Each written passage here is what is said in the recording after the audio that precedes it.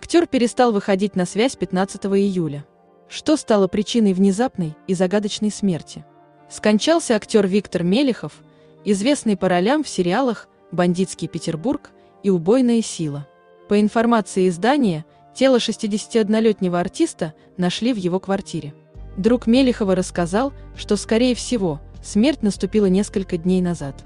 Витю нашли в его квартире. Было понятно, что он умер несколько дней назад. Он жил один, рассказал Марк агентству.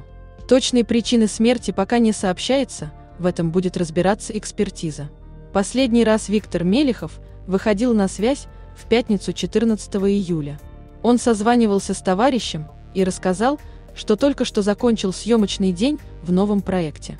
Последние дни у актера сильно болела голова, ему было тяжело ходить. Виктор Мелехов известен по ролям в проектах «Улицы разбитых фонарей», «Убойная сила», «Бандитский Петербург», «Морские дьяволы», «Ментовские войны» и многих других. Делитесь этим видео с друзьями и берегите себя. А также не забывайте подписаться, поставить лайк и нажать на колокольчик, чтобы не пропустить новые видео.